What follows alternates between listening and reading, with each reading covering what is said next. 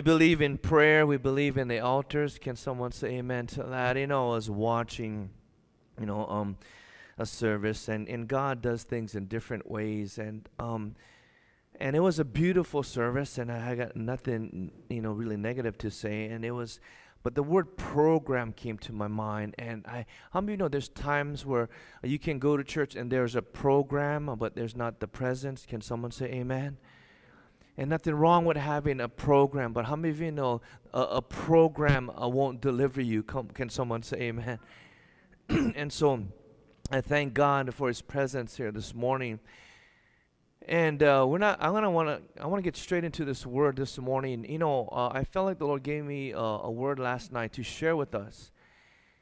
And you know, uh, we joke around how you know uh, when Precious, Tiati, or Heather preach, the Lord always confirms things, and I still want God to confirm my my my messages and maybe you know, but there's times this morning I said, Lord, whether you confirm it or not, I'm just gonna preach it. Can someone say amen?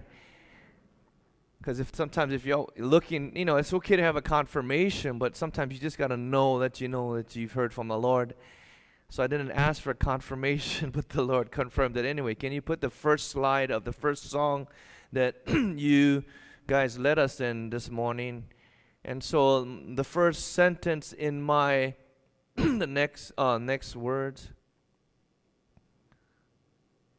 Next. Next. Next. Is this this? It, okay, right here. You can stop right here. so this is the first song that they did. And I don't know, it's just one of my deals. I don't really like to let anybody know what I'm preaching because it can change at any time. And so my wife doesn't even know what I'm going to preach. and it's interesting that this is the first song, and these words jumped out at me because the words in in this song is the first words in my first sentence that I want to share with you guys this morning. The Bible says, "Let everything be established by two or three witnesses," and I believe God is stamping this this morning. So thank you for being here and I don't want to abuse your time. Uh, pray for me that I'll deliver His word. It's not it's not something new. It's something basic, uh, but I feel it's a reminder for me. Let us pray. Heavenly Father, God, we ask for your Holy Spirit to speak. Father, we're not here by accident, Lord God, and we thank you that we serve a God who's not a mute idol or a wooden carven image, but Father God, we serve a living God who still speaks today. Your word in John 10 10 says, The devil comes to steal, kill, and destroy, but I have come that you have, might have life and life more abundantly. And we serve the great shepherd, a good shepherd this morning. And he said that my sheep know my voice, no other will they follow. This morning, God, I ask by the Holy Spirit that you silence every voice that is not of you. God, the voice of our flesh, the, the voice of our offenses, the voice of our hurts, secular voices, Lord God. God, you said that your word is living and active, sharper than any two edged sword, dividing asunder soul and spirit. God, I pray that anything that is of soul, Lord God, our mind, will, emotions, Lord God, will be cut to the side, and only that which is spirit will come through. Father God, time is short. Eternity is ahead of us. God, you said that we must make the most of every opportunity for the days of e- our evil, that we should discern the will of God for our lives. So help me preach, Lord God. Help me to teach, not just to your children, your people, but to myself as well. In Jesus' mighty name, everybody say, Amen. We'll be going to Jeremiah chapter 1. Jeremiah chapter 1, if you study Jeremiah, the weeping prophet, Jeremiah was raised as a prophet in, in a time frame where all of Israel were backslidden. All of Israel turned their back. Just imagine the whole entire uh, kingdom of God uh, today just turned their back and are backslidden. Jesus does talk about the last days there will be a great falling away. And it seems many have just laid down their convictions and laid down their faith um, to serve mammon, to serve money, to serve their own selfish desires. there are times where, in the midst of Israel's backslidden state, God would raise up certain men and women of God. Can someone say amen? Now look at your neighbor and say, That might be you. Okay, now now look at your neighbor and start prophesying to your neighbor and says, That might be you. Okay, you guys really hesitated on that. but how many of you know that the Lord, the Bible says that unless the trumpet sound is clear, the soldiers won't know what to do. In this day and hour, many are running to and fro. The government, the schools, everywhere you go, they don't know what to do. Maybe because the Christians are silent. Where are the prophets? Where is the word of the Lord? and so God had to raise up Jeremiah in the midst of Israel's backslidden state. And they threw him in, uh, uh, they threw him in empty wells. They threw him in, they beat him. They hated him. Nobody liked him. How many of you know today, if you look at preachers, they're, they're celebrated. But back in the Old Testament, they were crucified. Come on, somebody, help me preach this morning. The Bible says that in the last days, people will look for preachers that will tell them what their itching ears want to hear, not what their dying souls need to hear. Can someone say amen? It's interesting that Jesus was the greatest preacher, yet his own did not receive him. They crucified him, they mocked him, they did not receive his message. It's interesting that today that the messages from pulpits today are just so well and easily digestible. for me, I need to hear I need to hear God's word. That I can't survive off of cotton candy. I can't survive off a sugar diet. Amen. Every once in a while it's good. But how many of you know if you if you want to have a healthy body, you need more than that. Where we move from milk to steak. And I'm not saying that it's a steak message, but it's just that the, the, the nature, of the call of God on Jeremiah to raise him up to prophesy. the title of my message is Destiny Calls and Potential Cries Out. Destiny calls, you can write down, and potential cries out. That your destiny is calling out to you and I. Your, your potential is crying out. For us, for the sons and daughters to be released, to be seen on the earth.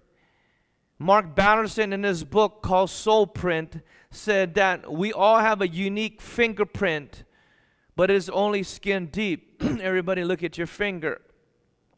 There's no one exact fingerprint, even if you're a twin. Everybody have a distinct, everybody say distinct. Everybody has a distinct fingerprint. Mark Batterson in his book Soulprint said that we all have a unique fingerprint. but it is only skin deep. But we all have a soul print, S O U L, soul print, which is even deeper, and that soul print is not who we are in the present, but who we are to become in the future. Can you put those words up again? so it's it, the soul print, the soul print in each and every one of us is like our spiritual DNA it is even deeper than a fingerprint. The soul print is not who we are in the present, but who we are to become in the future. God of my present and God of my future. Can someone say amen? How many of you, some of us, we make mistakes all the time. We, we, we, we have a, a, a, bad past for some of us, and we make mistakes yesterday. And, but their soul print is not who we are in the present, but who we are to become in the future. and so the blemishes that you see on your spouse today, how many of you know is not judgment? Come on, somebody. We're all in process. That He's also a God of our future. If God would have selected David based on his present, he would never be a king in the future. Can someone say amen?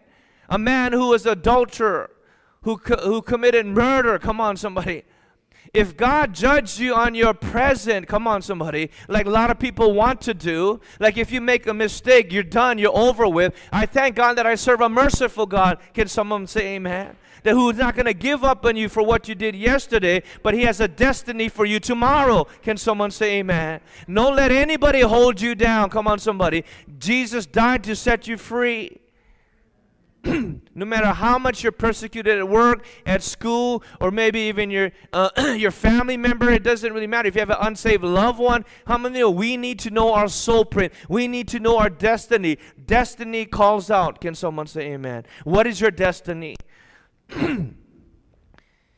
so our soul print is something that God imprints on our heart. You know, uh, work I work up here at the school, and I was talking to a new staff member and when I say this, I'm not saying, look at me. I'm just saying, you know, uh, uh, if I'm going to go somewhere to work, I'm just saying, Lord, I'm praying, God, use me somehow. I don't want to just go to work just to make money. Come on, somebody. If you're just going to work a nine to five job, that's boring. Uh, Jesus died for more than just going nine to five. Can someone say amen? I said, Lord, just use me. In, in, in spite of me, use me. yes, I'm there to work. Yes, I'm, uh, I'm there to you know, uh, uh, uh, work for the Lord, but I want to look for opportunities. And I had my pastor friends pray one day, and I said, I feel like the Lord is highlighting this certain uh, staff member that I'm supposed to witness to this certain staff member. And I told my pastor friends, Can you pray for this guy? And they said, Yes, we will. The very next day, I went to work and I'm way behind the tennis court by the basketball court. And that certain person that my pastor friend that we prayed for walked across campus and came right up to me and started asking some spiritual questions. Can someone say amen? And I began to uh, share the word of the Lord with him. And didn't and, and he, you know he's in his 30s and I found out that you know he knew the Lord when he was nine but he's been backslidden ever since. Come on somebody. Guys, there's opportunities all over the place.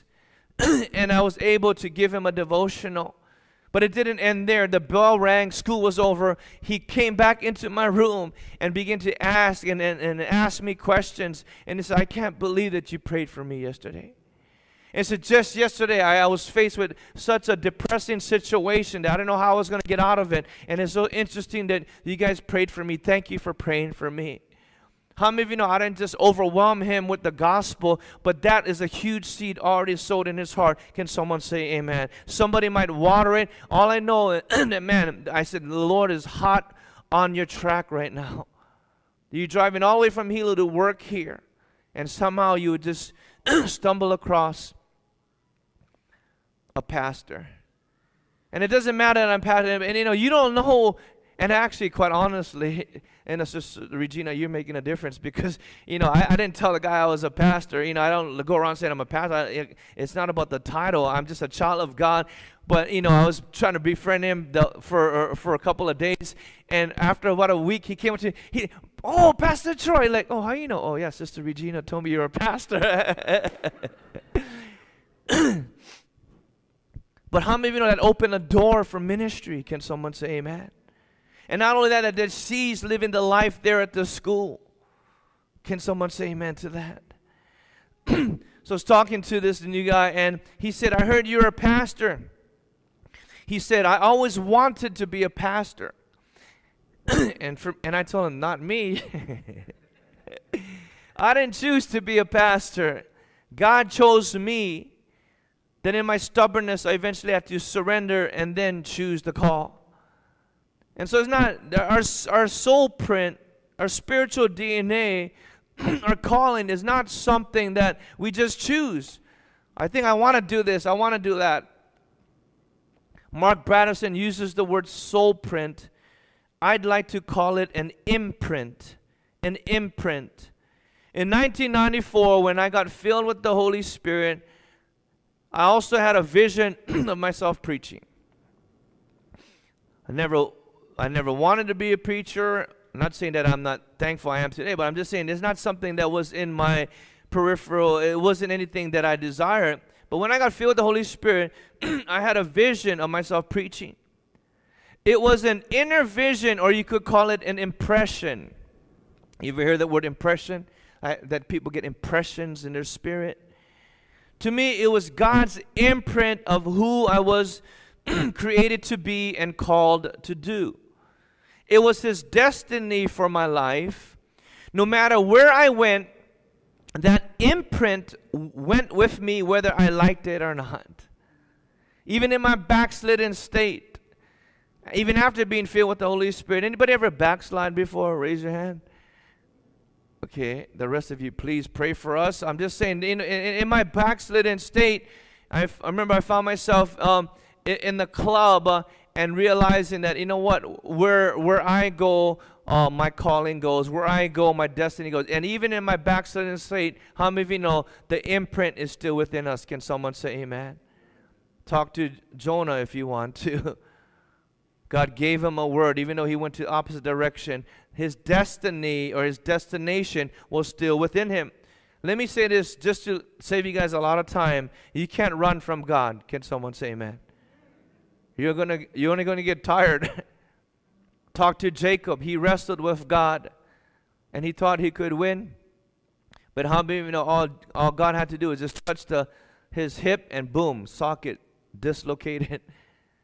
Basically saying, I'm God and you're not. Can someone say amen? The easiest thing for us to do is just stop trying to be God in our lives.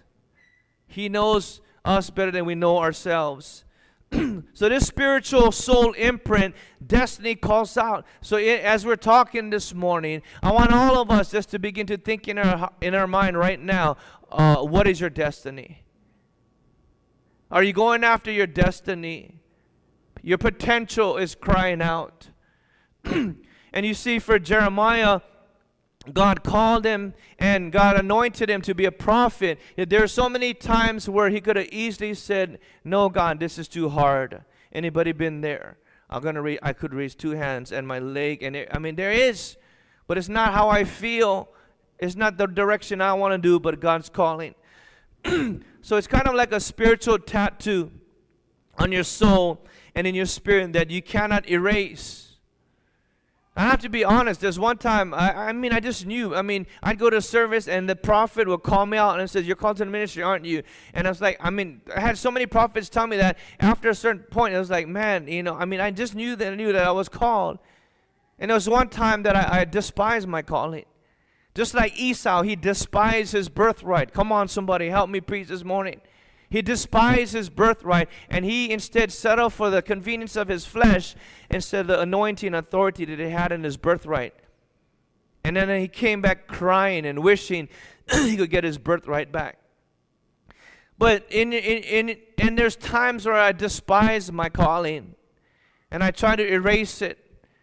But how many of you know when your calling, your destiny is written with the blood of the Lamb? Can someone say amen? And that is something that is irrevocable and that you and I cannot erase.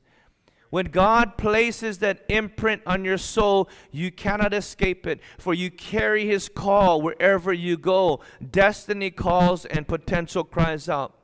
the definition of imprint is this it's a mark made by pressure, a mark or figure impressed or printed on something. Are you able to go back to the place where God marked you for eternity?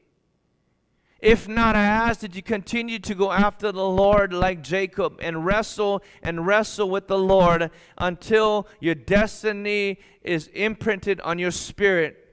the printer, or another definition of imprint, is the printer's name or address as indicated on any printed matter. You know, when God filled me and He He stamped my soul uh, with my soul print. How many of you know He was basically imprinting on my spirit His name, His address, and His ownership over my life? Can someone say Amen? Another definition of imprint is to impress a quality or character, or listen to this, or a distinguishing mark. Look, this was in 1994, and some of you like, Pastor, you always talk about it. You know why? Because I can't ever forget about it. It was a distinguishing mark in my life. And if we don't let that imprint go deep in our soul, we'll, we'll have the world forget who God really is and what God can really do in our lives. Another definition of imprint is to fix firmly on the mind or memory. This imprint on our mind where God begins to, you remember um, with the, uh, the disciples were walking on the road to Emmaus and they didn't know that Jesus was with them and all of a sudden he revealed himself and he says, were our hearts not burning within us? That's what happened when we walk with Jesus in a certain intimate way. That where our heart's not burning with us, that man, in your private secret closet where he can come in and invade your space. But our hearts must be open and hungry to it.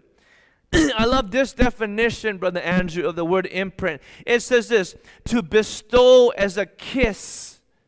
To bestow as a kiss. That is the imprint. How many of you know when God comes down and stamps his soul print on your life? It's like a kiss from heaven. Can someone say amen? in 1994, the kiss of God came down and kissed my soul. And over 20 years since that moment, it has left an indelible mark on my soul. I remember vividly right now. I can even, I can feel it right now, the kiss of heaven on my soul. God left a distinguishing mark, an imprint on my heart.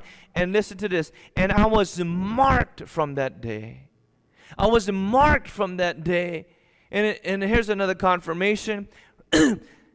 in my notes right here, I have hashtag God's imprints, and I have to remind myself illustration, get some stamps. And, and so I don't have any stamps. so before I got to church, I told I texted my daughter, said, Can you find me some sta- stamps? And Aaliyah, and I said, put it on my desk. And she she puts this on my desk right here. Thank you, Aaliyah. I haven't even opened it yet. And it says this make your mark. Come on, somebody. Make your mark. But I'm telling you and I this morning that we weren't gonna, we're not going to make a mark on this earth until we are marked by heaven. Can someone say amen? Because we'll try in our own way, in our own strength. Saul trying to make a mark on this earth. Come on, somebody until God marked him. And then his life, listen carefully, God apprehended and then redirected. Come on, somebody. he was marked, and it says that he began to preach the gospel fearlessly. Fearlessly. Why? Why? Because he was marked. He had a visitation. He had a soul print on his heart. Make your mark. and so, and then so a, is a soul print is like this. Is that God from heaven with his blood, he comes down and he touches us in a certain way and he stamps us and he leaves a mark deep within our heart. He leaves a soul print.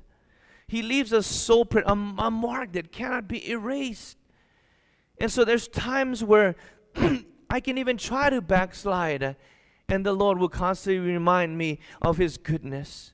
You remember the the prodigal son when he was experiencing all the goodness of his father and he began to leave and he began to look outside of the kingdom and he thought he could get something better out there. And instead he lost all of his money he lost his dignity he ended up in the pig pen. And how many i pray that there'll be two marks. I have two marks on my life. I have the mark from heaven and I have a mark from hell the times when we were backsliding, the times where we didn't know if we are going to make it another day, the times where you were either in jail or you're in a, in a rehab center or you're about to lose your mind. Come on, somebody. Like a dog we turned into his vomit. I pray that you remember that mark. Can someone say amen? The time when you wanted to shoot yourself, where you were vulnerable, where you were suicidal. Come on, somebody. Why would anyone want to go back to that way? Come on, somebody. there are two marks.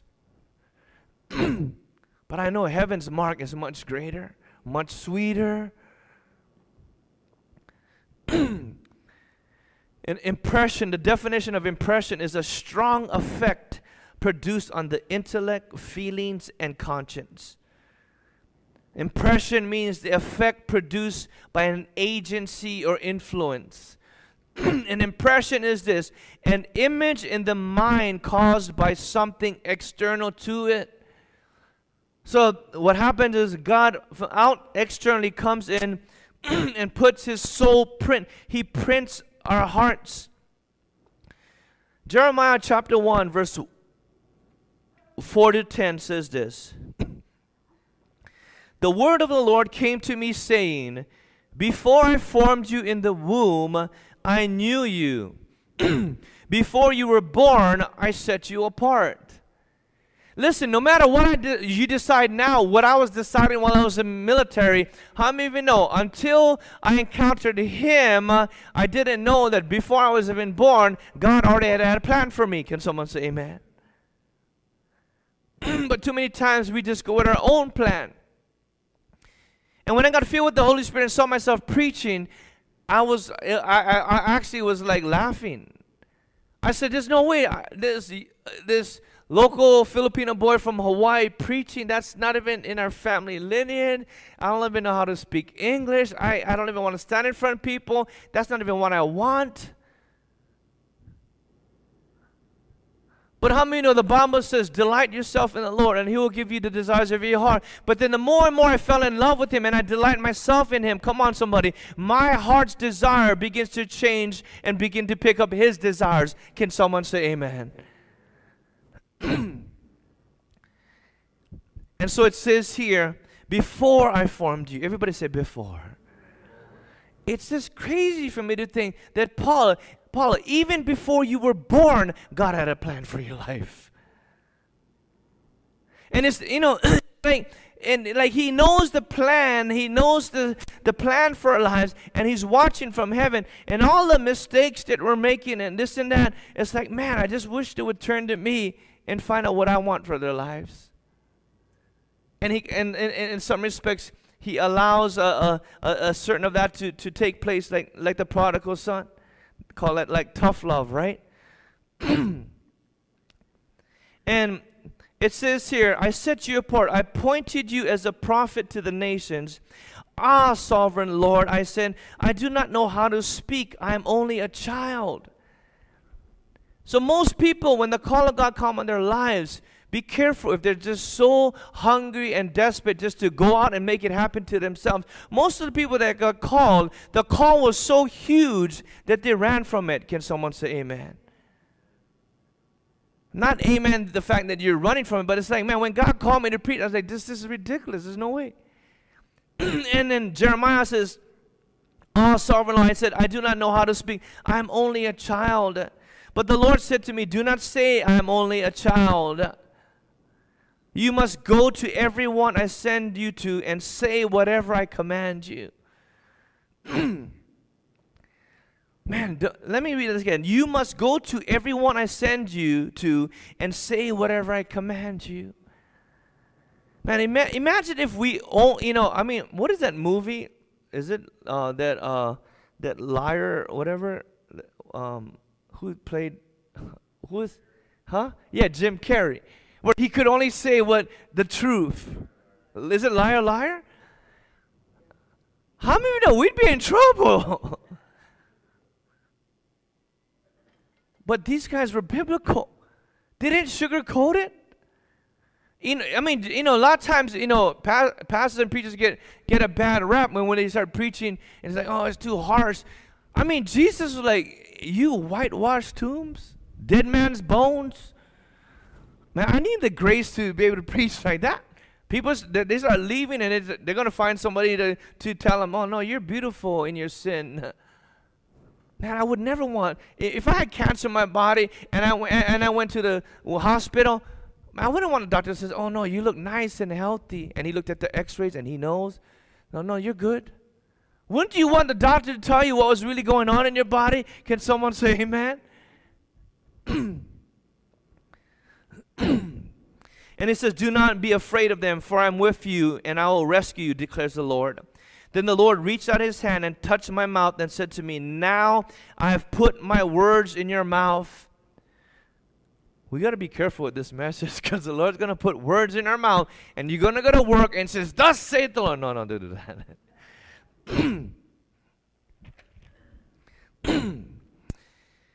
Put my words in your mouth. So today I appoint you over nations and kingdoms, listen carefully, to uproot and tear down. How many know sometimes the prophetic word comes up to uproot certain things in our lives? Can someone say amen? if there's things in my life that is trying to take root, man, I thank God for the prophetic word to uproot it before it actually be, turns into a stronghold. it says to destroy and overthrow, to build and to plant. So the prophetic word sometimes comes and it uproots and uproots and tears down, destroys and overthrows. But the final end is to build and to plant. Is to uproot those things that are not of God and to plant those things which are. So before God formed you, He had an idea about you. Only stop and think about that. Before God formed you, He had an idea about you. God knows you better than you. Amen? God knows you better than you. And I, I'm guilty. We're all guilty is that you know when you know especially you know working at the school and you know we had to ask them you know um, the choose love program gratitude and there's one thing where they have to write down things that they want and and you know all of them writing oh i want more money i want a nice car and this and this and many times we think we know what will satisfy us but how many of you know god knows us better than we know ourselves amen and only he knows what can really satisfy I wanted to be a pilot in the Air Force. I wanted to be in the military to become an officer, and that was my direction. and by the grace of God, He closed that door. Then I tried, I took the test to be a fireman. I actually went and ran the course, huffing and puffing, didn't pass. The door was closed. I also tried to become a, a police officer, believe it or not. Took the test, that didn't go well either. Come on, somebody. imagine this guy with a gun. You don't want to imagine that, all right? But many times we're, we're pursuing different things, and you know, God closes the door because you know what? He knows what our destiny is and what can make us happy and what can satisfy us more than we know. Can someone say amen? Psalm 139, verse 2 to 6 says, You know when I sit and when I rise. You perceive my thoughts from afar. You discern my going in and my lying down. You are familiar with all my ways. That's God. He's familiar with all of our ways. Before a word is on my tongue, you know it completely, O Lord. You hem me in behind and before. You have laid your hand upon me. Such knowledge is too wonderful me too wonderful for me, too lofty for me to attain. See, God knows us more than we know ourselves. And if we turn to Him and ask Him, what is our destiny? What is our call? What is our purpose? so, God is not a respecter of persons. If God can make clear the call of God and destiny for prophet Jeremiah, why can't He make the call and destiny clear for a Christian baker a Christian politician, a Christian farmer, lawyer, realtor, chef, carpenter, pastor, evangelist, that he can make clear to us what our destiny is. you see, many times people feel like God is so distant. And I was reading a story of this youth pastor who's pa- youth pastor in Kauai.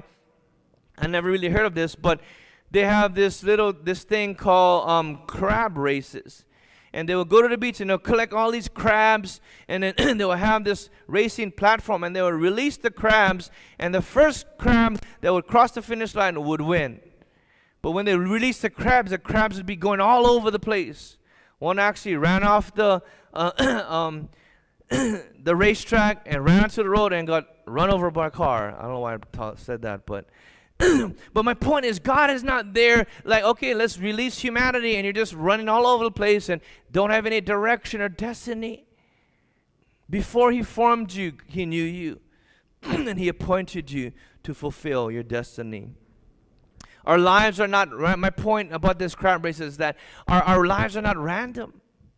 Our lives are not random. At first, I thought it was. I thought maybe I can just pick this or pick that.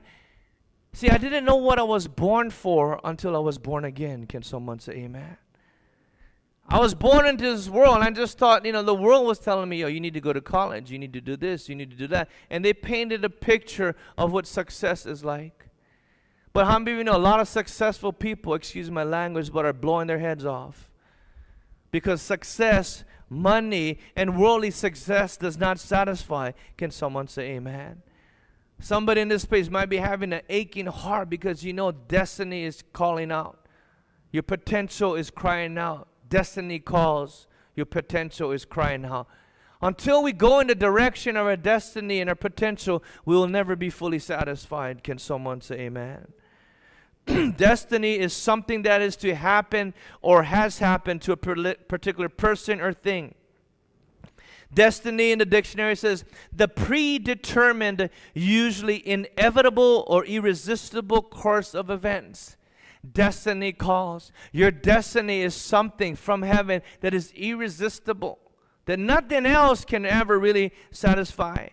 Jeremiah 1 6 says, When destiny is revealed, we feel very small because God wants us to lean and depend on Him to bring forth our destiny. You see, in a society which valued the wisdom of older people, in Jeremiah's case, he was young, Jeremiah might have felt unable to speak because society wouldn't really listen to him.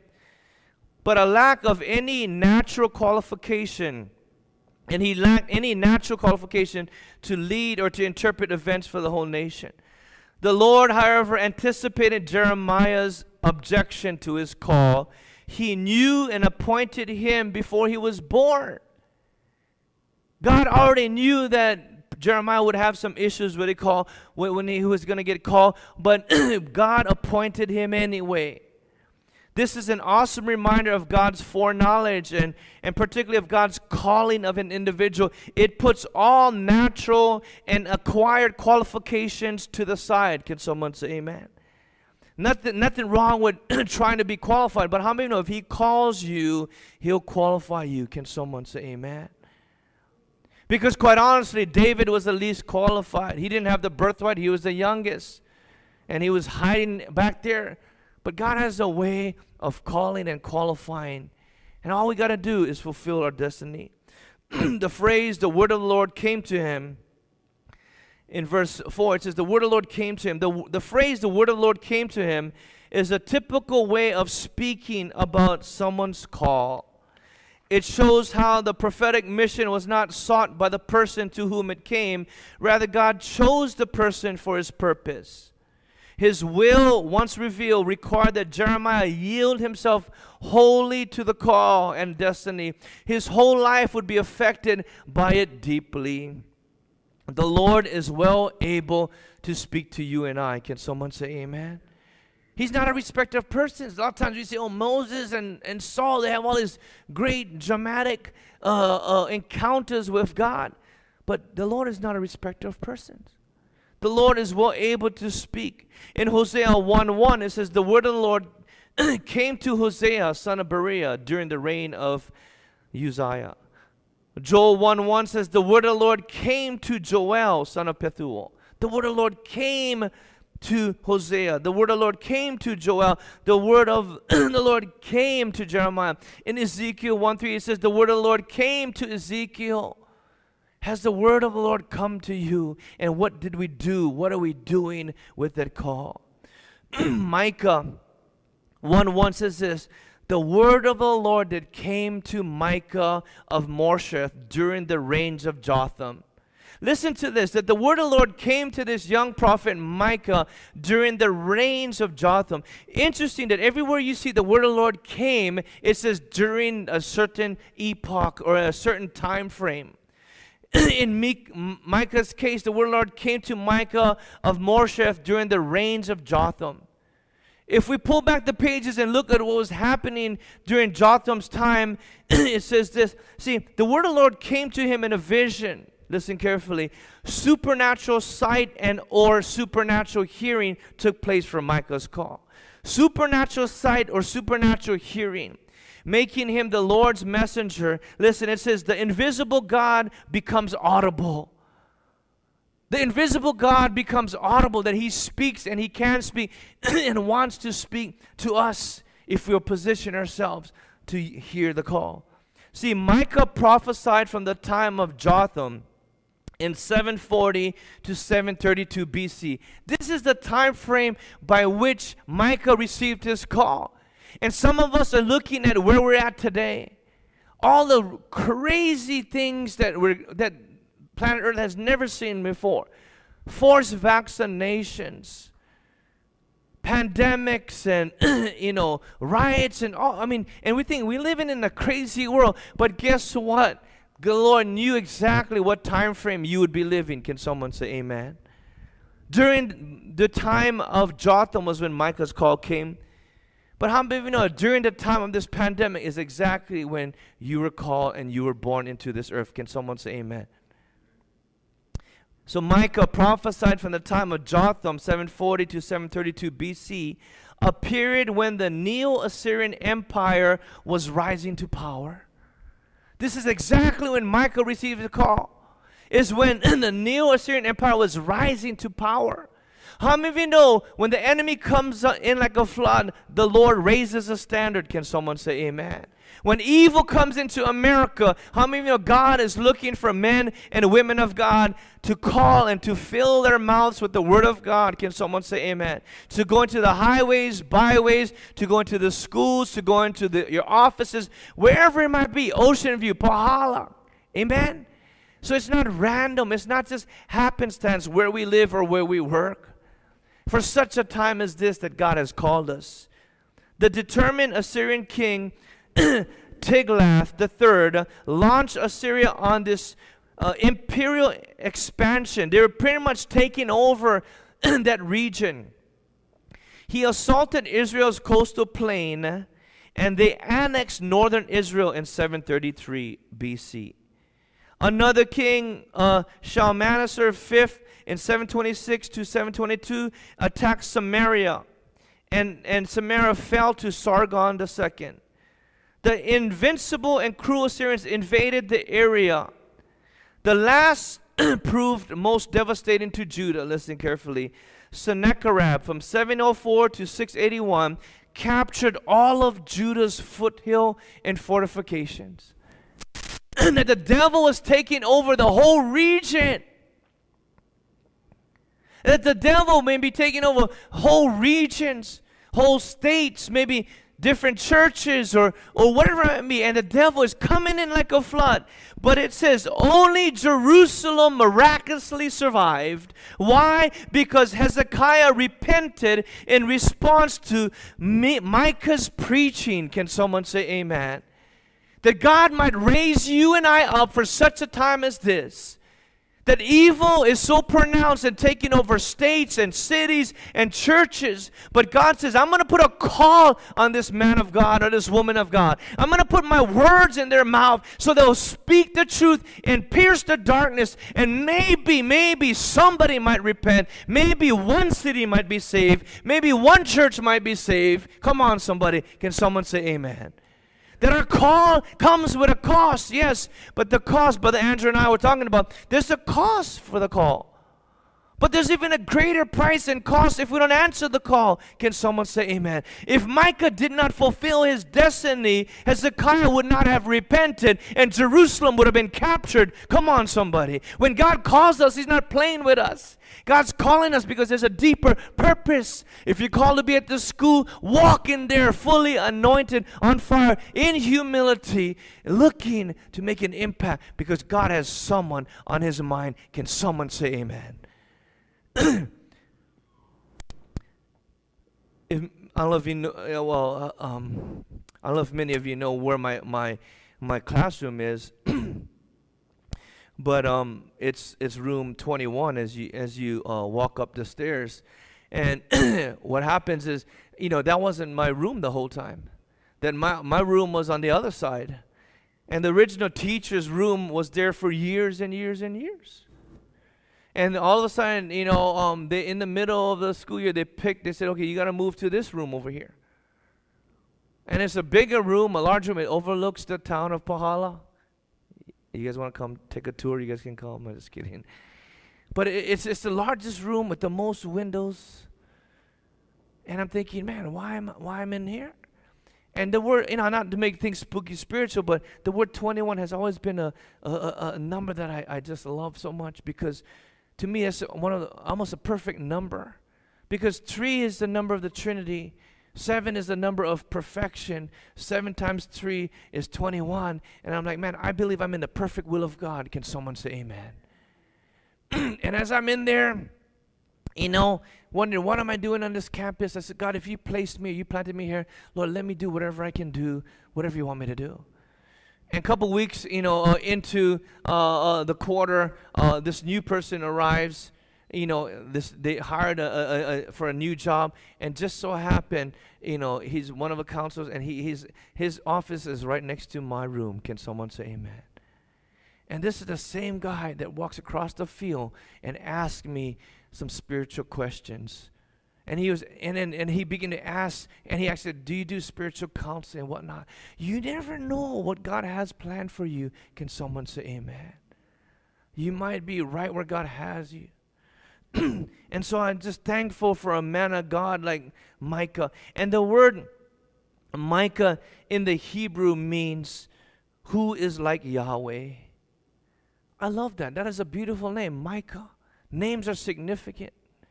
And I'm like, you know, a, a, name like that, Micah, is like anytime you, you know, try to backslide or you try to settle for the secondary will, secondary uh, uh, uh, things in this life instead of God's perfect will, you just gotta say, Micah, who is like Yahweh? Nothing can compare His plan. Nothing can compare to His plan or His presence. when God called Jeremiah he laid his hand on him in such a way that there could be no true choice but to hear and obey. It was so pronounced, it was so so printed on his heart. he had brought he had been brought to this hour for this purpose. Yet so he was brought to this hour for this purpose, yet of course he had to choose and he had to obey and continue to do so throughout his ministry. See, in my devotion, I was reading one day in the City, City of Light Church. It says this Each of us has a unique role to fulfill during our time on earth. Can someone say amen? Let me read this again. Each of us has a unique role to fulfill during our time on earth. And we'll find that based on the soul print, the destiny that He stamps on our heart. When you're faithful over what you've been given and the role you've been assigned, you're able to live out the destiny that God has for your life. One way that you and I can ensure that we are heading towards our destiny is this that we would maximize what God gave us. Can someone say amen? Everybody say maximize. Charles, you won't ever forget this word because your dog's name is Max. So you look at your dog and say, I'm going to maximize everything God has given me. When you live in a world of comparison, you begin to get an improper view of who God is and focus on what others have rather than what God has given you. Isn't that a trap of the enemy, that comparison game? Look at that church, or look at that marriage, or look at this, and, th- and then, you know, look at that person's car, and that person's job. So, what happens is don't be so wrapped up in what God is doing in someone else's life that you miss out on the destiny that He has for your life. Can someone say amen? And I pray that this morning that I will be able to spark your fire, spark my fire, spark my desire for destiny, for the destiny on your life. Maximize means this make as large or great as possible. Whatever gift has given you, if your gift is basket weaving, make it as large and great as possible for the glory of God. Can someone say amen?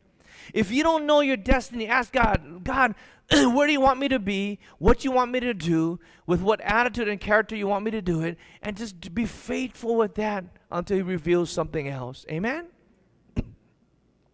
Whether, whether or not we, we've successfully lived out our destiny is determined by how we have utilized our talents and abilities during our time on earth. I love Colossians 3:17. It says this, "And whatever you do, everybody say whatever. And whatever you do, whether in word or deed, do it all in the name of the Lord Jesus, giving thanks to God the Father through him." You know, Joseph, no matter where he went, he did everything, whether in word or deed, he did it all in the name of his God. And whether he was in a pit, whether he was sold to slavery, whether he was falsely accused by Potiphar's wife, or whether he was in prison, he still did everything with excellence. He still used his gifts, and eventually it, he got him to his destiny. You see, destiny is similar to the word destination. And so, if we don't know our destiny, if a person doesn't know where he is headed, I guess any road will do, right? Not in God's kingdom. If we don't know what God destined us for, we won't know if we got there or not. How will I know if I'm going in the right direction if I don't first determine my destination? So, what happens is if we don't have our, our their destiny and the imprint in front of us, when God showed me that I was supposed to be a preacher, it was His blueprint, it was His it was his imprint says this is the direction that you're going. So so what next lord? Okay leave the military. What next lord? Okay take some bible courses. But it, it can apply to anything else if he's called you to be a counselor or baker. But are we taking those steps towards our destiny? Because destiny calls out and potential cries out if there is no des- true destiny, then any path will do. Proverbs 29 18 says this where there is no revelation, people cast off restraint. What does it mean? Where there is no revelation or vision of who we're supposed to be, then anything will do. We just do whatever we want to do because there's not a vision in our lives. Where there is no vision, the New American Standard says, where there is no vision, the people are unrestrained any road, or if I can put this uh, local style, any kind, whatever kind, it, it don't matter, any kind. I, I, have no call in my life. I just do whatever I like do, any kind. But not with God. Paul said, I discipline myself so that after, in 1 Corinthians 9 20, 26 says this, Therefore I do not run like a man running aimlessly. I do not fight like a man beating the air. No, I beat my body and I make it my slave so that after I have preached to others, I myself will not be disqualified. And so Paul talks about a man who runs aimlessly with no vision, no revelation. And the, uh, the word aimlessly in the Greek means adelos, which means uh, irresolutely or without attending to the prescribed marks or lines. Basically, there's no resolve in our lives to go after anything. And so there's times where I began to doubt my destiny until I realized that I was discontent every time I stopped moving towards it. In closing, I want to share this story. I want to read two verses in closing, and one that we all have already pretty much memorized. But Ephesians chapter 2, verse 11 to 13 says this Therefore, remember that formerly, everybody say formerly you who are Gentiles by birth and call uncircumcised by those who call themselves the circumcision, remember that at that time you were separate from Christ. Everybody remember when you were separate from Christ? excluded from citizenship in Israel and foreigners to the covenants of the promise, without a hope and without God in the world. But now in Christ Jesus, you who were once far off have been brought near by the blood of Christ. Amen? So we're foreigners, we're aliens, we're excluded, we're without hope, without God, but his blood draws us close to him. But Ephesians 2:10 says this, "For we are God's handiwork, created in Christ Jesus to do good works which God prepared in advance for us to do." God has prepared stuff for you and I to do, and He prepared that in advance. And it says that we are God's handiwork, we are His masterpiece, and we are His workmanship. Heather, can you put up um, um, the, that, that Italian word? I think it's Imagine del Cori. Ima- Im- Imagine del Cori. I'm not sure if I'm pronouncing it right. Imagine del Cori. And I want to end with this. to the average eye, it was a mutilated piece of marble.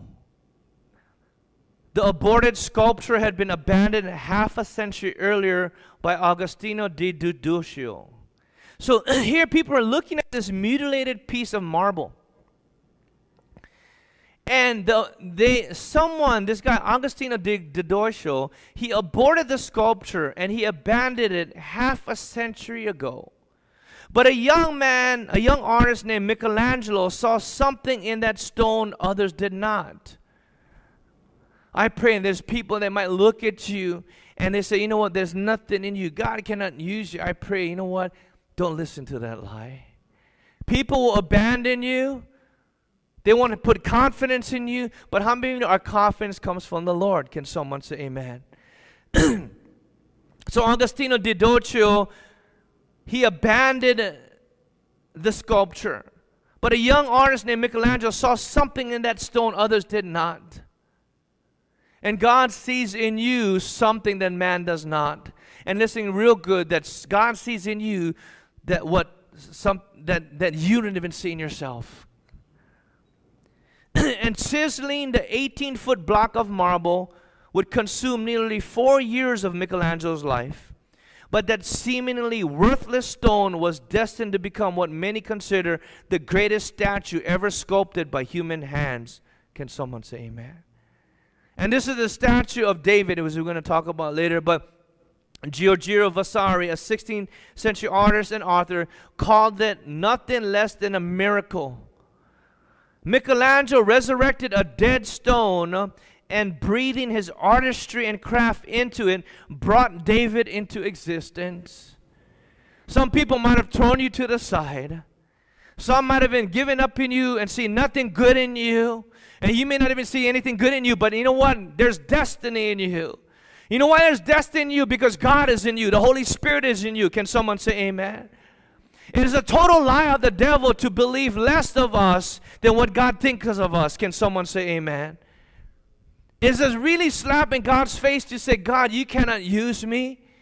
It's basically saying, God, you don't have the ability to use me. How many of you know while we are sinners, Christ died for us? Come on, somebody. When we're useless and didn't even have the Spirit of God in us, He still saved us and He filled us and He called us. And you know what? He is our present help in times of trouble. He's the author and finisher of our faith. Can someone say amen?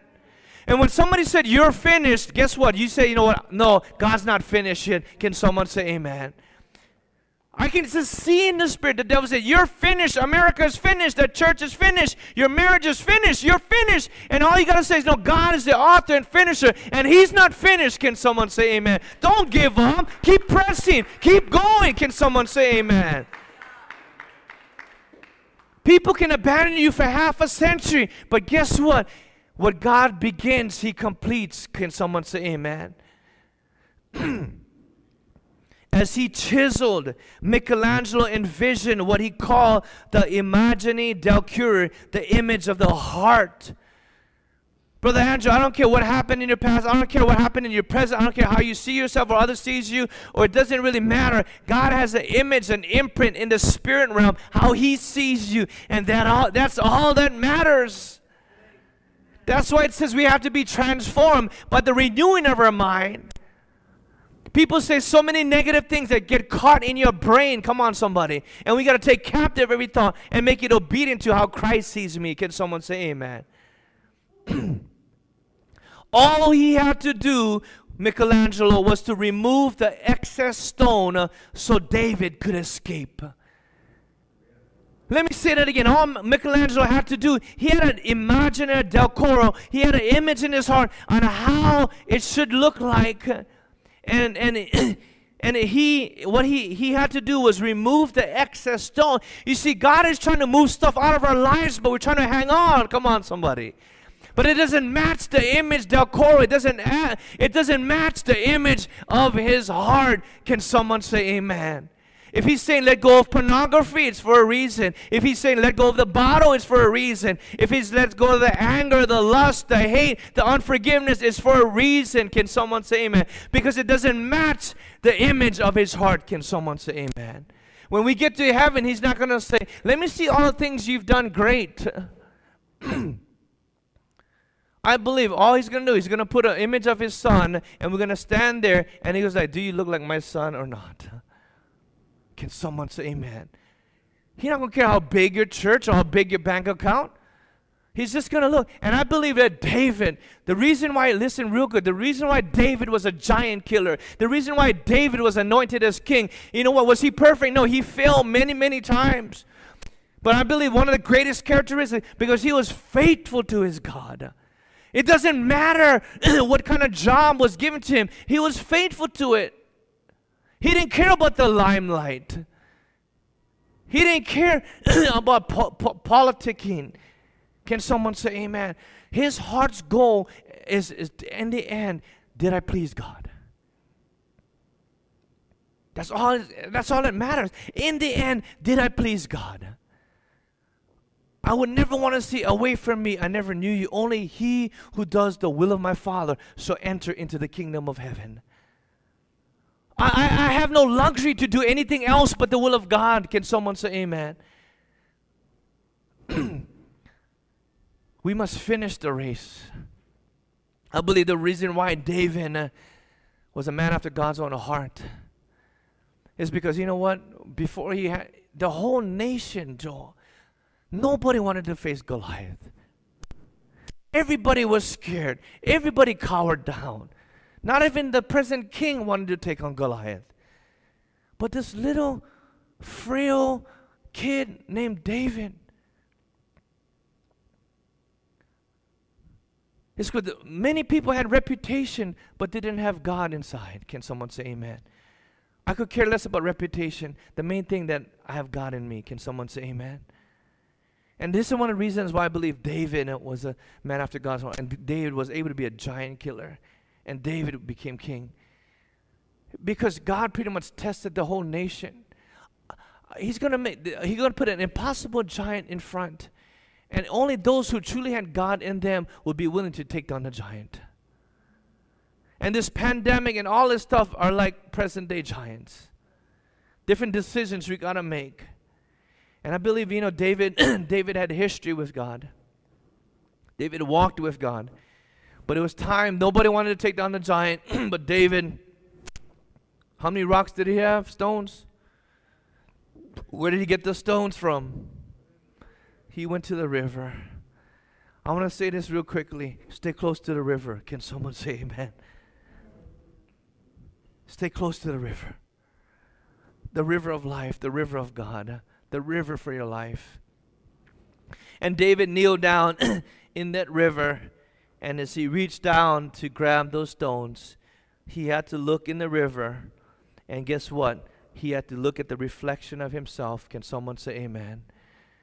It's probably maybe even the first time he actually saw a reflection of himself. And I strongly believe that, you know what? The only way he could have taken on the giant was that he didn't see himself, that he see God in him. Can someone say amen? Because what happens if I just look at me, I can't do it. But if I look at him, I can do all things through Christ who strengthens me. Can someone say amen? The reason why we don't answer a call and death in our life is because we are looking at ourselves. I cannot preach one iota in my own strength. Nobody could take that giant down. But David could. Because it wasn't the size of the giant, it was the size of the God within David. Can someone say amen? And don't believe it for one last minute that God is not dwelling in you. And if you feel He has not baptized you and filled you, ask Him to fill you. See, all Michelangelo had to do was remove the excess stone so David could escape. He didn't see what was, he saw what could be, what already lay within his heart. You know, when God looks at us, He doesn't see what was, or what is, but what could be. Can someone say amen? He didn't see the imperfections. You may see it, I may see it. But if we're trying to bring our perfections to Christ, how many of you know you're trying to bring your own salvation? Can someone say amen? He didn't see the imperfections in the stone. He saw a masterpiece of unparalleled beauty. And that is precisely how God the artist sees you and I this morning. Justin, are you perfect? No. And you know your pastor, your coach, your basketball nemesis that screws you on court all the time. I'm just kidding. No, that's a lie. he screws me. Man, God doesn't see your imperfections. Does He want us to be transformed in those areas? Yes. Does He want to sanctify us in those areas? Yes. But He sees you who you can be. Amen.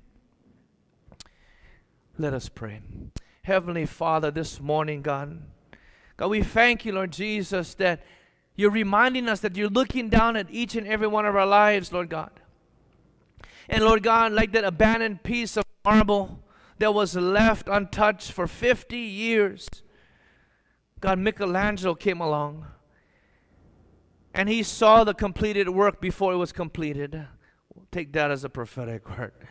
That God sees the completed work before it was even completed. If you're in this place and you say, you know, Pastor, man, sometimes I feel like that marble stone, uh, half finished, that people have given up on me, and sometimes I give up on myself, and sometimes I feel God has been giving up on me. And you said, today, I want God, like that Michelangelo, to pick up his chisel and to begin to work on me to bring me to completion, to fulfill my destiny. If that's you this morning, no one looking around, lift your hands and just wave at me. Anybody in this place? Thank you. Anybody else? Thank you. Anybody else?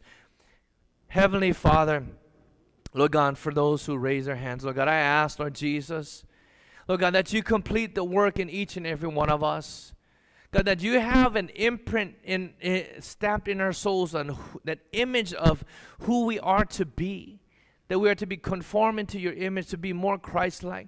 Lord, I pray, Lord, I want to call forth destinies. I want to call forth people's potential, Lord God. I want to call forth my potential, my destiny, Lord God. I pray, Lord Jesus, that we will not run from the fight, but we'll run to the fight. Lord God, the Bible says, can the, the clay say to the potter, what are you making?